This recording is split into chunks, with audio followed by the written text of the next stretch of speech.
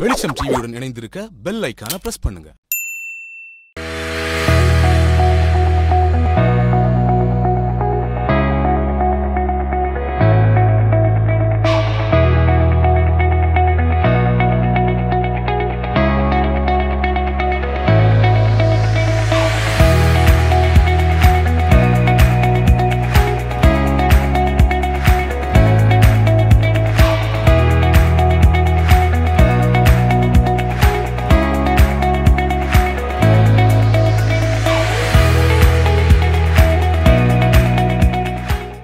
வெளிச்சம் டிவி நேயர்களுக்கு அன்பு வணக்கம். இது என் வீட்டு தோட்டத்தில் வித் சந்துரு. கடந்த இரு நாட்களாக நம்ம ராணி பாலாஜி மேம் கிட்ட பேசிகிட்டு இருந்தோம். அவங்க சொன்ன கருத்துக்கள் எல்லாமே நமக்கு முறையாக வந்து சேர்ந்தது. இன்றைக்கி நம்ம எதை பற்றி பேச போகிறோம் அப்படின்னா மனிதர்களுக்கு உணவு எப்படி தேவையோ அதே மாதிரி செடிகளுக்கு உரவும் தேவைதாங்க. அந்த உரத்தை அவங்க எப்படி தயாரிக்கிறாங்க? இயற்கை சார்ந்து தயாரிக்கிறாங்களா? இல்லை இயற்கை அற்று தயாரிக்கிறாங்களா? அதை எப்படி அவங்க தயாரித்து எப்படி அதை செடிகளுக்கும் மரங்களுக்கும் தராங்க? இந்த மாதிரி நிறைய விஷயங்கள் தான் நம்ம கேட்டு தெரிஞ்சுக்க போகிறோம் வாங்க மேம் வணக்கம். வணக்கம். உரம் எல்லாமே எல்லா செடிகளுக்கும் எல்லா மரங்களுக்கும் தேவை. அந்த உரத்தை நீங்கள் எப்படி தயாரிக்கிறீங்க? அதை எல்லாம் எங் எங்கேருந்து கொண்டு வரீங்க அது எப்படிங்க வந்து இம்ப்ளிமெண்ட் பண்ணுறீங்க அப்படி. ஆக்சுவலி வந்து உரம் வந்து பேசிக்கலாக ரெண்டு வகையாக இருக்குது அதாவது இமீடியட்டாக கொடுக்கறது சீக்கிரமாக சீக்கிரமாக தேவைப்படுற மாதிரி. ஒரு சிலது வந்து ஸ்லோ அண்ட் ஸ்டெடி ஸ்டெடியாக இருக்கிற மாதிரி. ஸோ அந்த ஸ்லோ அண்ட் ஸ்டெடி வந்து மெயின் இது வந்து கவுடங்கு. ஸோ இதெல்லாம் வந்து நம் இப்போ புதுசாக செடிக்கு பாட்டிங் மிக்ஸ் போடும் போதே என்ன பண்ணுறேன்னா அந்த மெயின் திங் இந்த இங்கே இருக்க காய்கறி செடிக்கெல்லாம் வந்து வெறும் கொக்கோபீட் மட்டும்தான். ஸோ அந்த கொக்கோபீட்டோட அதுக்கு வந்து கொஞ்சம் காம்போஸ்ட் தேவைப்படுது. காம்போஸ்ட் வந்து நம்ம வீட்டில் இருக்க அந்த காய்கறி கழிவு நம்ம ட்ரை லீஃப் அதெல்லாம் போட்டு செய்கிறது அது வந்து இங்கே பக்கத்தில் சிட்லப்பாக்கம் அந்த முனிசிபாலிட்டியில் வந்து அந்த வேஸ்ட் செக்ரிகேஷன் பண்ணுறாங்க அதில் வந்து அந்த காம்போஸ்ட்லாம் கிடைக்கிது. ஸோ நான் வந்து என் செடிக்கு வந்து மெயினாக அங்கேருந்து தான் நான் வாங்குறேன் நான். கோகோபீட் காம்போஸ்ட் இது இல்லாமல் வந்து கரும்பு சக்கை. கரும்பு சக்கை வந்து அந்த மண்புழுக்கெலாம் ரொம்ப அது அந்த ஸ்வீட்னஸ் வந்து பிடிக்குங்கிறதுனால மண்புழு வந்து நிறைய வருங்கிறதுக்கு அந்த கரும்பு சக்கை போடுறேன். அதுக்கப்புறமா இந்த டீ தூள் சேர்க்குறேன். டீ தூள் முட்டை ஓடு அப்புறமா பழம் வேஸ்ட்டு. ஸோ இதெல்லாம் வந்து இப்போ கொக்கோபீட் போடும் போதே இதை வந்து ஃபஸ்ட்டே சேர்த்துடுறேன்.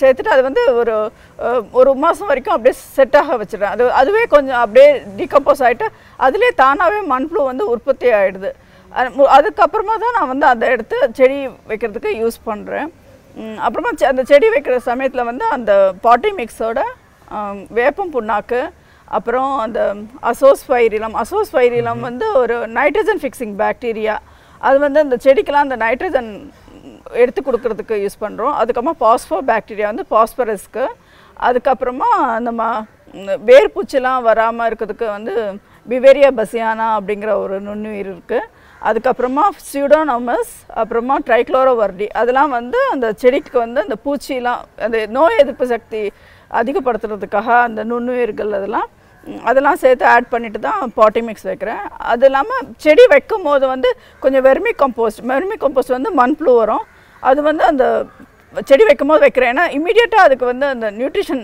நிறைய வேணும். ஏன்னா அது வந்து ஏற்கனவே ஒரு இடத்துலேருந்து எடுத்து தான் நாற்று மாதிரி தான் எடுத்து வைக்கிறோம். ஸோ அதுக்கு வந்து அந்த டிரான்ஸ்பிளான்டேஷன் ஷாக் இருக்கும். ஸோ அதுக்கு வந்து அந்த சத்து நிறையா இருந்துச்சுன்னா அது கொஞ்சம் சீக்கிரம் செட் ஆகிடும் ஸோ அதனால் வந்து செடி வைக்கும் போது அந்த அந்த வேர் சுற்றி வந்து கொஞ்சம் நிறையா ஒரு கை நெறி கை ஃபுல்லாக வந்து வெறுமை கம்போஸ்ட் போட்டு வைக்கிறேன். அதுக்கப்புறமா வந்து கொஞ்சம் பஞ்சகாவியம் தண்ணியில் தெளித்து அதுக்கு போட்டு விட்றேன் பஞ்சகாவியம் வந்து அந்த க ஆடு மாடோட அந்த மாட்டுச் சாணம் கோமியம் பால் தயிர் அதெல்லாம் போட்டு அது ஒரு பெரும் ப்ராசஸ் இருக்குது அதில் தயாரித்து கிடைக்குது. அது வீட்டில் செய்ய முடியறதில்ல. அது நிறையா வந்து நர்சரிஸ்லேருந்து வாங்கி தான் யூஸ் பண்ணுறேன் அதனால் அதை போட்டுக்கிறேன். அதுக்கப்புறமா அந்த செடி வளர வளர அதுக்கு வந்து இந்த இது இதுவே கொஞ்சம் கொஞ்சம் டிகம்போஸ் ஆகி ஆகி நியூட்ரியன்ஸ் வரும். அது இல்லாமல் வந்து நம்ம வந்து வாரத்தில் இருமுறை ரெண்டு வாரத்துக்கு ஒரு முறை வந்து அந்த வெர்மி காம்போஸ்ட் ஒரு கைப்பிடி அளவு செடிக்கு போட்டுடலாம். அது வந்து போட்டால் உடனே கரைஞ்சிரும் ஆக்சுவலி அதனால வந்து அது இமீடியட் எனர்ஜி கொடுக்கும். அதனால வந்து அது வந்து கொஞ்சம் கொஞ்சமாக தான் அதை யூஸ் பண்ணணும். அது இல்லாமல் வீட்டிலேயே வந்து நம்ம கடலை புண்ணாக்கு இருக்குல்ல கடலை புண்ணாக்கு மாட்டுச்சாணம் அப்புறமா கொஞ்சம் தயிர் வெல்லம் இதெல்லாம் போட்டு ஊற வச்சிருவேன். ஊற வச்சுட்டு ஒரு ஒரு வாரம் கழித்து வந்து அதை நல்லா மிக்ஸ் பண்ணி தண்ணியில் டைல்யூட் பண்ணி செடிக்கெல்லாம் ஊற்றுவேன் அதுக்கப்புறமா அந்த பூ காய் செட் ஆகிற டைமுக்கு வந்து தேமோர் கரைசல். தேமோர் கரைசல் வந்து தேங்காய் பாலும் நம்ம மோரும் புளிச்ச மோரும் வச்சு அது ஒரு டூ வீக்ஸ் ஃபெர்மெண்ட் பண்ணி போடுறது. அது வந்து செடிக்கு வந்து நிறைய பூ பூக்க வைக்கும். பூ பூக்க வைக்கும். அதுக்கப்புறமா இது பூ உதிராம பூ உதிர்றது த தடுக்கும். அப்போ காய் நல்லா செட்டாக வரும். அதுக்கப்புறமா திருப்பி அந்த காயெல்லாம் செட் ஆகிட்டோமா அந்த காய் அடுத்த இதுக்கு போகிறதுக்கு வந்து நம்ம இது நம்ம பழக்கரசல் இருக்குது பழக்கரசல் வந்து அந்த நல்லா ரைப் இப்போ வாழைப்பழம்லாம் வந்து ரொம்ப பழுத்து அப்படியே கொல கொலான்னு இருக்கும். நம்மள சாப்பிட முடியாது. ஆனால் பட் அது அழுகா அழுகல அது. ஸோ அந்த மாதிரி இருக்கிறத கலெக்ட் பண்ணிவிட்டு அதில் வந்து வெல்லம் மிக்ஸ் பண்ணிவிட்டு அதை ஒரு த்ரீ வீக்ஸ் வச்சிட்டோம்னா அது அதோட மற்ற பல ஸ்- இது தோல் எல்லாம் கூட போடலாம். இப்போ பப்பா பப்பாயா இருக்குது பப்பாயும் ரொம்ப கனிஞ்சிருச்சுன்னா அதை யூஸ் பண்ணலாம். அந்த மாதிரி இதெல்லாம் யூஸ் கரைச்சி அதை வந்து அந்த ஃப்ரூட் ஃப்ரூட்டிங் டைமில் வந்து அது போட்டோம்னா அது வந்து அந்த காய் நல்லா பெருசாக வரும். நல்லா ஹெல்த்தியாக இருக்கும்.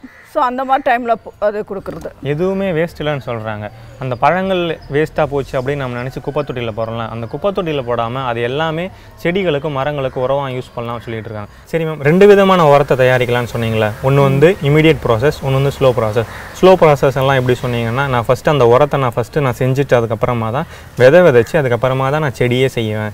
இந்த மாதிரி ஒரு ப்ராசஸ் சொன்னீங்க.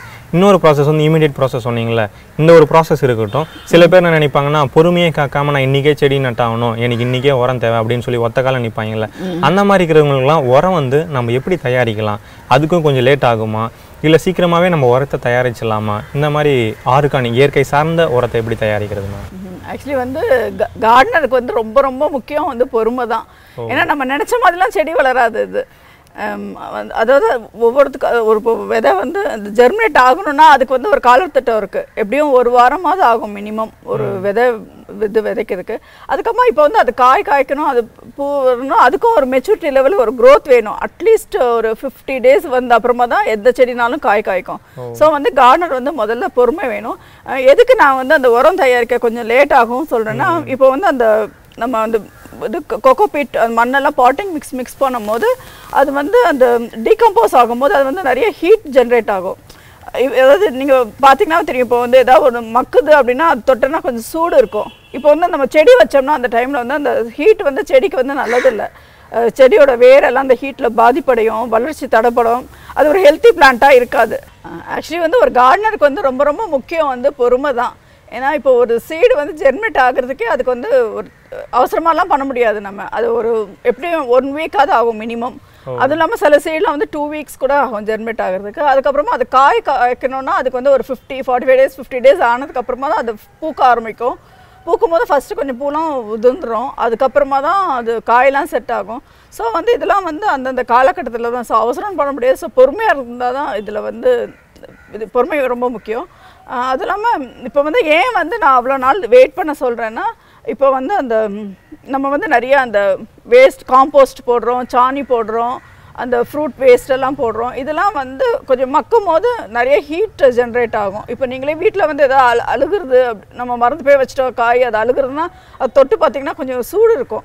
அதாவது டீகம்போஸ் ஆகும்போது அது ஹீட் ஜென்ரேட் ஆகும். இப்போ நீங்கள் அதில் வந்து அந்த செடி வச்சிங்கன்னா அந்த வேரெல்லாம் வந்து ரொம்ப சூடாகி போயிடும். அப்போ வந்து அந்த செடிக்கு வந்து ஒரு சரியான வளர்ச்சி இருக்காது. அது வந்து வச் ஒரு வீக் செடியாக தான் இருக்கும். அதுலேருந்து காயும் வராது. செடி ஹெல்த்தியாக இருந்தால் தான் காய் காய்க்க முடியும். அதனால் வந்து அதனால தான் கொஞ்சம் அந்த இதெல்லாம் மண் செட் ஆகிறதுக்கு ஒரு ஒரு மாதம் சொல்கிறேன் சொல்லிட்டேன்னா அப்போ வந்து அதுக்கு தேவையான உரம்லாம் இருக்கும். செடியும் வளர்கிறதுக்கு நல்லா இருக்கும். அது அது இப்போ வந்து அவசரமாக அவங்களுக்கு வேணும் அப்படின்னா நிறைய நர்சரிஸே இருக்கு. அவங்க வந்து அந்த பாட்டிங் மிக்ஸ் ரெடிமேடாவே விற்கிறாங்க அதாவது அவங்க இது மக்கிலாம் வச்சு ரெடியா வச்சிருக்காங்க. ஏற்கனவே அவங்க இந்த மாதிரி பதப்படுத்தி வச்சு அந்த உரத்தை வந்து தர சேல் பண்ணிட்டு இருக்காங்க. ஆமா. அது யூஸ் பண்ணிக்கலாம். இல்லைன்னா நீங்க வந்து அந்த full and full vermicompost மட்டுமே போட்டு நீங்க மண் தயாரிக்கணும்.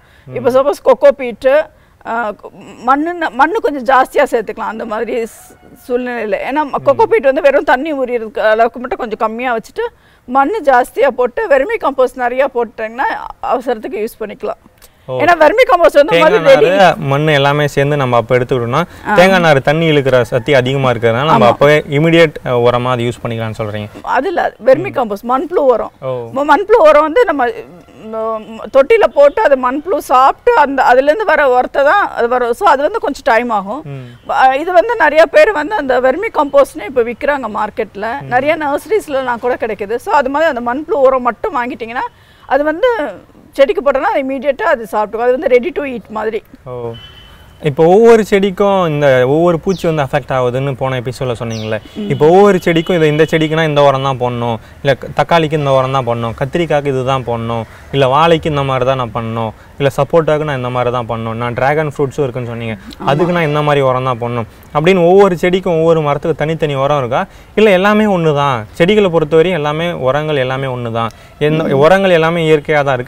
எல்லாமே செட் ஆகிடும் அப்படின்னு சொல்ல வரீங்களா? ஆமாம் உரம் வந்து எல்லாருக்கும் ஒன்று தான் செடிக்கு அதான் செடிக்கு வந்து இப்போ சப்போஸ் வந்து இப்போ கீரைலாம் இருக்குது கீரை வந்து அந்த இல- இலைக்கு வந்து மெயின் திங் வந்து நைட்ரஜன் சத்து.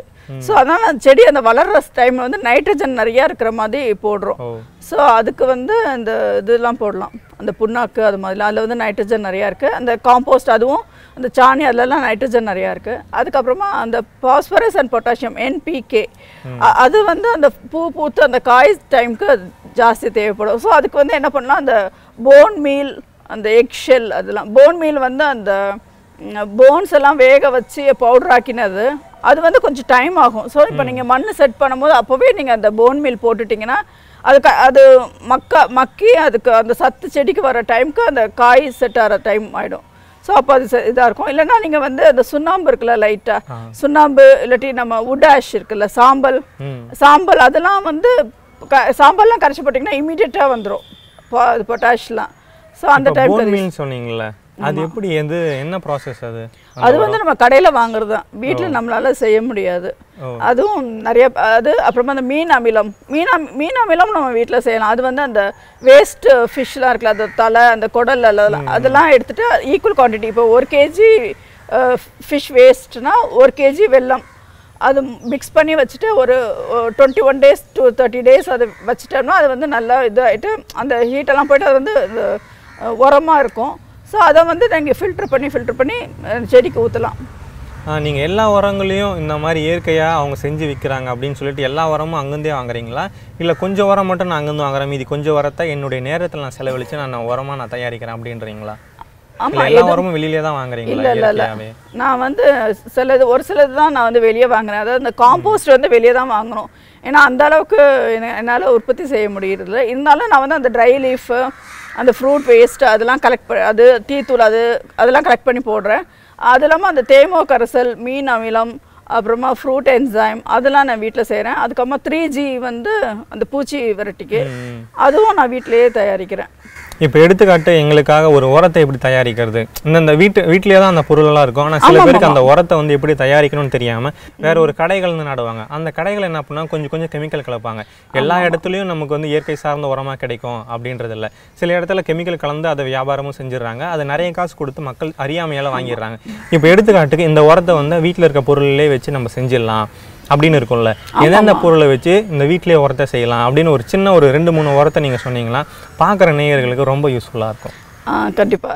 இப்போ வந்து இது இப்போ பஞ்சகாவியம்லாம் எடுத்துக்கணும். பஞ்சகாவியம் வந்து அது செய்யறதுக்கே ரொம்ப நாள் தேவைப்படும். டெய்லி கிண்டிக்கிட்டு இருக்கணும். அதுவும் அந்த ஒரு பர்டிகுலர் டேல ஒரு இது ஐட்டம் ஆட் பண்ற மாதிரி இருக்கும். தயிர் பசும் பால் வேணும் பசும் தயிர் வேணும் அந்த பசும் கோமியம் வேணும். ஸோ இதெல்லாம் நமக்கு கிடைக்க கஷ்டம். ஸோ இதெல்லாம் நான் வந்து கடையில் தான் வாங்கி பண்ணுறேன் பட் அதே அஹ், தேமோர் கரிசல்னு ஒன்று இருக்குது அது வந்து ஒன்றும் இல்லை. தேங்காய் பால் இல்லைன்னா இள இளநீர் அப்புறமா அதோட புளிச்ச மோர். இதெல்லாம் நம்ம வீட்டில் தான் கிடைக்கும். ஸோ ரெண்டும் ஈக்குவல் குவான்டிட்டி வந்து கொஞ்சம் தண்ணி விட்டு நல்லா கரைச்சி அப்படியே செட் பண்ணி வச்சிட்டோம்னா ஒரு ரெண்டு நாளைக்கு மூணு நாளைக்கு ஒருக்கா கிண்டி விட்டுக்கலாம்.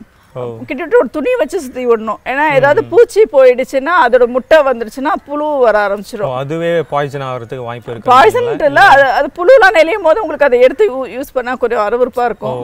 அதுதான். அப்புறமா திருப்பி நம்ம வீட்டில் வந்து எல்லாரும் செய்ய வேண்டியது வந்து அந்த காம்போஸ்டிங் காம்போஸ்டிங் வந்து நம்ம செய்கிறதுனால நம்ம வீட் தேவையில்லாத குப்பையை உற்பத்தி பண்ணுறதை நம்ம குறைச்சிக்கலாம்.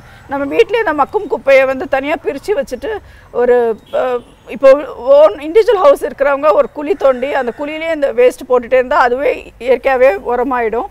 அப்படி இல்லாதவங்க ஒரு நல்ல ஒரு பெரிய ட்ரம் ஒன்று எடுத்துகிட்டு அதில் ஹோல்ஸ் எல்லாம் போட்டுட்டு இதில் வந்து இந்த குப்பையெல்லாம் போட்டுட்டு ஒரு ரெண்டு ரெண்டு நாள் மூணு நாளைக்கு ஒருக்கா கிண்டி விட்டுக்கலாம். கிண்டி விட்டுட்டு இருந்தோம்னா அது அதுவே உரமாக மக்கிடும்.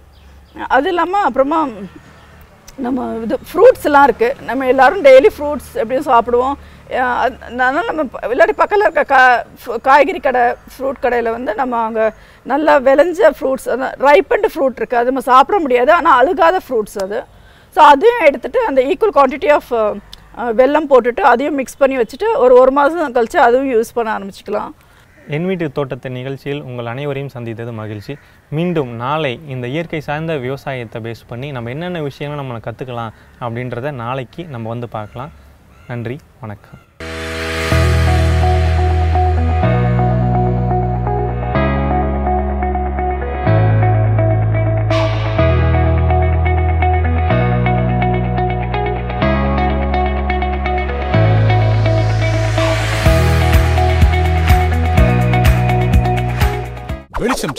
இணைந்திருக்க பெல் ஐக்கான பிரஸ் பண்ணுங்க.